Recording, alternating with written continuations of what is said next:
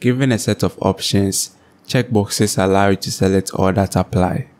We'll be creating that in React Native using the basic touchable opacity, the view and text component, some icons from Expo Vector icons, and also some basic logic.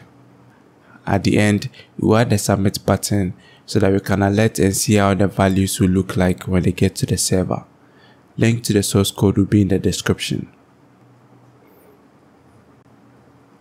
Starting work in the app.js file of my React Native or Expo project, I will display an instruction text saying that I can choose all options that apply. I will style this text using some styling that I defined earlier. This will give it a margin at the bottom, adjust the font size and also the color. Once we have that, we will start work on the checkbox component itself. For this, we will create it under the components directory, specifically in the inputs directory. We'll call this file checkbox. Here, we'll start by setting up a checkbox component, return a fragment, and make sure to export it. As a placeholder, we can import the text components from React Native and return some text. In the index file under the inputs directory, we make sure to import the checkbox and export it. This will make it accessible in the app.js file. Now we move to the app.js file and over here we import the checkbox component. With that done, we go just below our instruction text and then we can render the checkbox component. To proceed, we want to pass all the properties to the checkbox that we'll need for it to work properly. The first one is options. This will be an array of objects that will contain all the options that we want to provide to the user. For this, each object will have a label and a value. The label is what will be displayed and the value is what will be passed back to the server. So for the start, we will have three options of instruments. Next, we want to create a state variable for our checkboxes. This will be used to monitor the current values that have been checked. So for this state, we can name it to match the values we are dealing with, and this will be an array. For the state variable, we will pass it to the checkbox via the checked values property. Also, we will pass the set function via the onChange property. In addition to all this, we'll pass some additional styles by setting some margin at the bottom. Once we've done that, we can head back to the checkbox component. Over here, to proceed, we destructure all the properties that we pass to the checkbox. Also, we import some additional components that we will need from React Native. For the style sheet, I'll create the style sheet object. However, for the styling, I'll paste some styles that I defined earlier. This will help us to focus more on the React Native part. The main component we want to return for the checkbox is the view component. For this, we'll give it our container style so that it covers the entire width of the screen. In the situation where we receive additional styles, like how we added additional styles to the checkbox, we'll pass that to the view as well. Now working with the options received, we want to return a touchable opacity for each of the options. We can do this with the help of the map method. We'll pass a function to this and the parameter will provide us access to the option. It will give us access to the label and value properties. Back in the checkbox component, we return the touchable opacity. In this, we will display the label in a text component.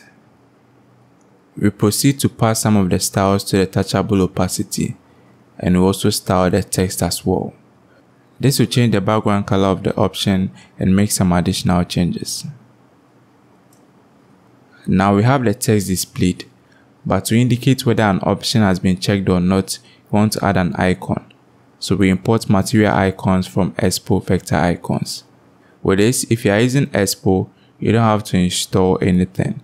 However, if you are using bare React Native, you might have to install this or use React Native icons. Now just before the text component, we render the icon. The initial icon we want to use here is the checkbox outline icon. We'll give this a size and also an initial color. At this point, we want to handle what happens when a checkbox is pressed. This will be handled in the onPress property of the touchable opacity. When a checkbox is pressed, we want to add that option to our checked values. So to start this, we'll make a copy of the check values that we received. This we'll call updated check values. With this done, we push the current value of the option to the updated check values array. Now to update the original checked value state, we call the onChange function and pass the updated checked values. Even with this in place, we see no changes when we press on the options. To fix this, we need to adjust the styling when a checkbox has been selected and is active. So to start, we need to determine when a checkbox is active. To get this result, we'll check whether the updated check values include the value of the current option. Getting true means that the current option has been checked and needs to be styled differently. Starting with the touchable opacity, when the current option is active, we want to style it differently. So we'll start by maintaining the current checkbox style and add an additional style. This will change the background color and make it stand out. Currently, all our options are checked so the background color changes for all of them. Next up, for an active option, we adjust the icon as well. First of all, we change the icon from the outline of the checkbox to the checkbox itself. Also, we adjust the color as well to make it stand out. Next, we do the same for the text, adjusting the style to make it stand out a bit. We keep the current style and add an additional one. This changes the color of the text. With this done, we see that all our options are checked. However, if we press on them, they don't get unchecked, so we need to handle that. To deal with this, when an option is checked and we press on it, Instead of adding it back to the array again, we want to take it out. We can determine which option is active using the active variable we declared earlier. Now when the option is pressed, we first want to check whether it is active. If it is active, we want to update the updated checked values. This time we will filter it and we'll keep only the values which are not equal to the value of the current option being rendered. The filter method iterates over the content of the checked values array, so we compare each of the checked values to the current value of the option. Once we've done that, we conclude by returning the onChange function and passing the updated checked values. With that done, we can now uncheck the options and check them again.